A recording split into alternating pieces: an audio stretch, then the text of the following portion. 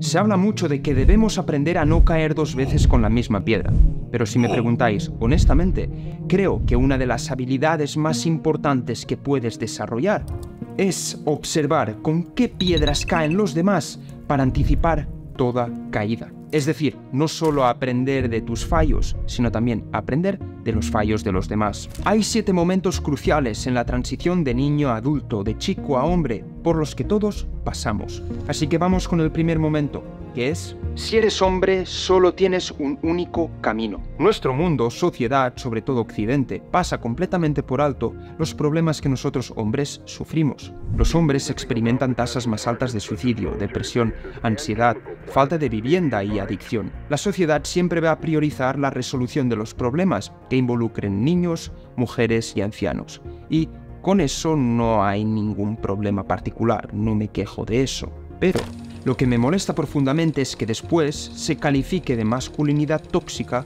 la voluntad del hombre de querer ser fuerte, ambicioso, determinado y resiliente. Quiero que ignores por completo toda la propaganda extremo progresista que te llega de todas partes llamando la masculinidad como algo tóxico, que te alejes de todo eso y que veas la masculinidad como una energía que debes cultivar que es tu deber e incluso placer cultivar. ¿Por qué? Porque te va a ofrecer esa resiliencia necesaria para confrontar los problemas, responsabilidades, desafíos que la sociedad nos mete sobre nosotros, sobre nuestros hombres, a cada uno de los hombres, de forma sistemática y no hay ninguna escapatoria. Debes aceptarla, pero eso sí, cultivar tu masculinidad para confrontar estos problemas con resiliencia, honor y coraje. Y además, cultivar un carácter robusto, guiado por la ética, la moral y el honor, te hará feliz. Y punto. La verdad es que tu hija quiere un padre protector. Tu madre quiere un hijo honorable. Tu mujer quiere un hombre fuerte. Y tu hermana quiere un hombre respetable. Y esa es tu única opción, tu único camino. Entonces, una vez asumimos como hombres esta realidad de la sociedad, que no hay nada malo con ella, sino que es todo un honor, debes alinearte con eso y entrenarte para que sea así. Vamos con el segundo momento, que es el desamor, una experiencia transformadora. La decepción amorosa forma parte de nuestro desarrollo como hombres, es una de las experiencias más transformadoras y depende de cómo la gestionas puede causar grandes estragos o simplemente ser un gran aprendizaje como por ejemplo fue en mi caso, desde una muy temprana edad.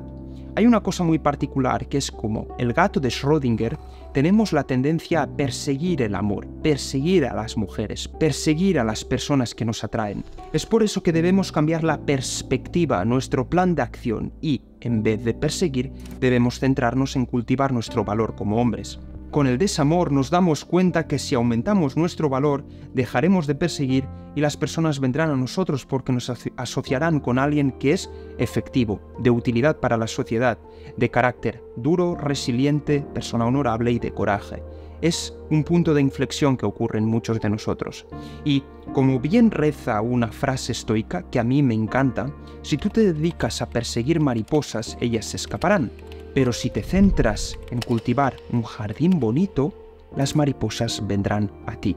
Y si no bien, siempre te quedará un jardín bonito. Es decir, como decía Aristóteles con el término eudaimonia, cultivar tu valor como simple acto virtuoso. Vamos con el tercer momento, que es abandonar el hogar familiar. El acto de emanciparse del cobijo de tus padres, del hogar familiar, es un acto transformador, porque ya dejas de ser ese ser protegido sin responsabilidades que siempre puede llegar a casa de sus padres y tener una especie de burbuja de protección y ya asumes radicalmente tu libertad y responsabilidad absoluta de tu situación. Y cuanto más temprana haces esta transición, más vas a aprovechar ese desarrollo que viene con esta transición. Hacer esta transición a los 27 años no considero que sea muy efectiva, porque ya todo el mundo ya la ha hecho y no hay ventaja que ganar, incluso habrás perdido muchos años de desarrollo. En cambio, si lo haces como yo, con 17, 18 años, y tienes esa capacidad de hacerlo, esa habilidad y perspicacia, los frutos, los beneficios serán indescriptibles. ¿Por qué? Porque básicamente asumes responsabilidad de tus acciones. Es la tercera ley de Newton. Para toda acción hay una reacción igual opuesta y esto lo vives verdaderamente cuando eres libre, independiente. Para cada acción que cometes en tus días ya no hay papá que venga a protegerte. Estás tú solo.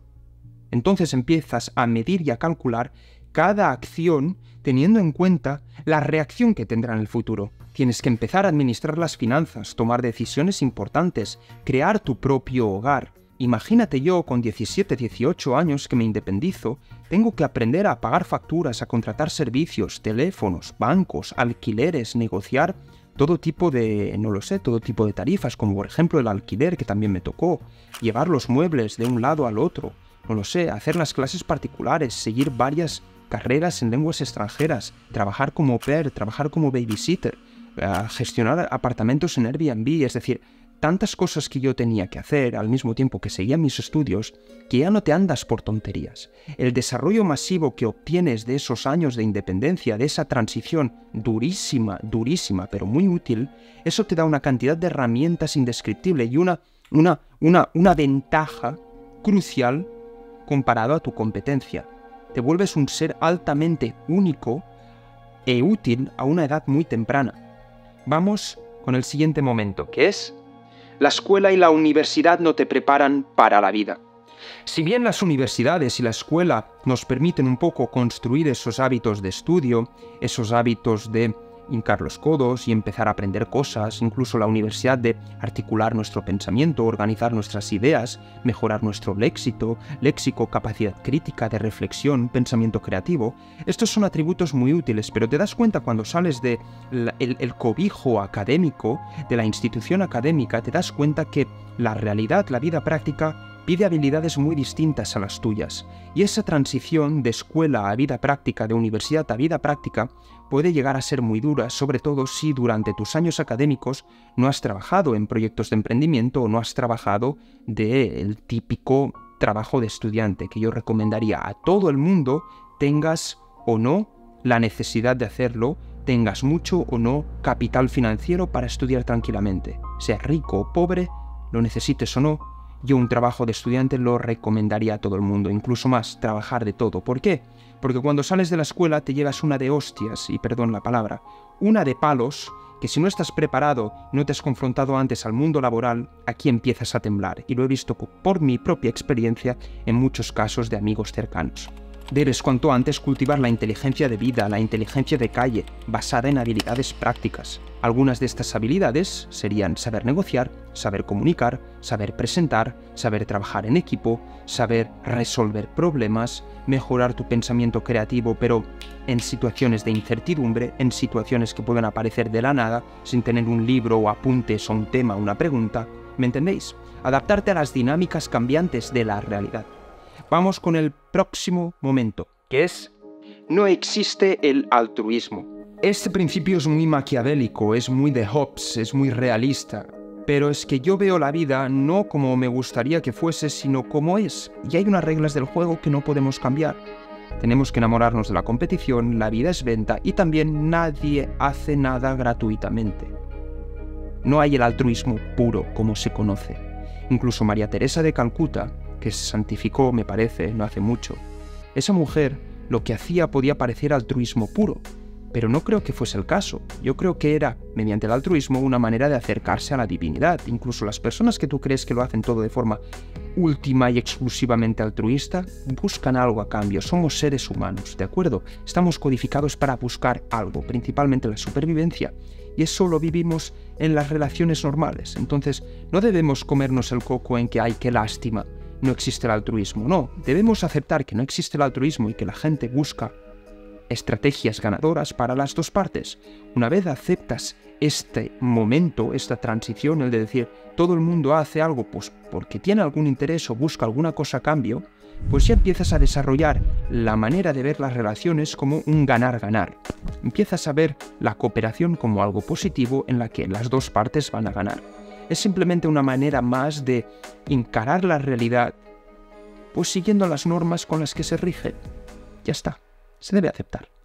Vamos con el siguiente momento, un punto de inflexión, que es la vida es una competición. Una de las falacias más graves que se nos ha inculcado desde nuestra infancia, desde que somos pequeños, es lo importante es participar. La vida Con la participación no te da ni los lacasitos, no te da ni subos, no te da absolutamente nada. Lo importante es la competición, enamorarte de la competición con la perspectiva de ganar, porque es la única manera con la que conseguirás cosas. Eso sí, ganar no significa concentrarte en obtener algo de forma individualizada, no. Sabemos todos que de forma individual llegarás más rápido, pero de forma grupal, en grupo, llegarás más lejos. Entonces, si quieres verdaderamente ganar, tienes que empezar a trabajar en equipo.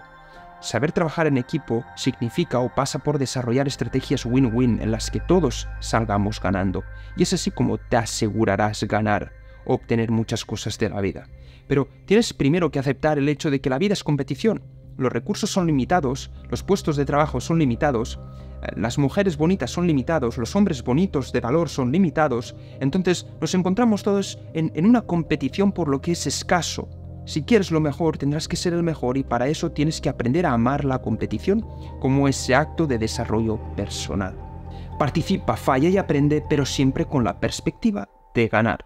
Vamos con el último momento que es tu vida depende única y exclusivamente de tu mentalidad. Tus condiciones sociales, tus contextos económicos, culturales, históricos, de país, todo esto puede influir en tu perspectiva de éxito futura. Es más, determina el punto donde empiezas en la vida, pero no en el que acabas. Tú decides, debes responsabilizarte del punto en el que quieres acabar en la vida. Porque si la vida es injusta, pero está en tus manos decir, vale, mi situación no es favorable, mi situación es precaria, ¿Cómo hago yo ahora para llegar al nivel que yo deseo? No comparándome con esos que han tenido más facilidades, no, no, no, no, no. Con mi dificultad, ¿cómo hago yo para hacerme más fuerte, incluso superar a esos que han tenido facilidades? Y es que incluso te lo dicen grandes atletas, grandes casos de éxito, te dicen, la vida solo es una cuestión de mentalidad, de actitud, de percepción, de valores. La vida es un juego mental y yo soy el primero. Yo no era todo lo que veis en pantalla. Yo era un niño inseguro, yo era un niño sin confianza en él mismo, yo era un niño sin habilidades ni destellos eh, excepcionales, ni nada de eso, era un niño muy normal, muy trivial. Mirad en qué me he convertido y todo este progreso nadie me lo ha regalado, ¿sabéis cómo lo he ganado yo? Y eso, repito, nadie me lo ha regalado con la mentalidad, con la mentalidad, con mis valores, confrontando miedos de forma cotidiana, tomando acción masiva, saliendo de la zona de confort. Yo he ganado todo esto por mi propio pie, nadie me ha regalado nada nada. No tenía las condiciones ambientales ni el círculo cercano que me permitiese llegar a este punto de absoluta confianza en mí mismo. Y muchos hablarán de arrogancia, no es arrogancia. Los que tienen absoluta confianza en ellos mismos comprenderán mi posición, porque es absoluta confianza en tu capacidad de ser útil, resolver problemas, ser una persona de alto valor. Y tenéis que llegar a ese punto donde en vuestra mente no cabe ningún tipo de duda sois altamente funcionales en la sociedad, la sociedad os necesita para crear impacto, la sociedad os necesita para ser hombres de valor, gente de liderazgo. Y hasta aquí el vídeo de hoy. Agradeceros vuestra atención, vuestro tiempo, un abrazo cálido, un beso por favor, dejadme un like, un comentario, me ayudáis muchísimo a hacer crecer esta maravillosa comunidad que todos estamos construyendo poco a poco, nos estamos convirtiendo en una de las mejores comunidades de esta plataforma tan resiliente, tan sólida, con unos valores tan puros y honoríficos que estoy orgullosísimo, así que ayudadme a hacer eso posible, por favor. Recomendad este vídeo a alguien que queréis ver progresar, amigo, amiga, padre, madre, hermano, hermana, a quien queráis. Y también, por favor, os dejo aquí esta lista de reproducción Confesiones de un hermano mayor en la que iré depositando todos esos vídeos un poco más personales, ¿no? Que un poco descifran mi filosofía de vida y mis valores. Así que nada, un gran abrazo, un beso y nos vemos en el siguiente vídeo.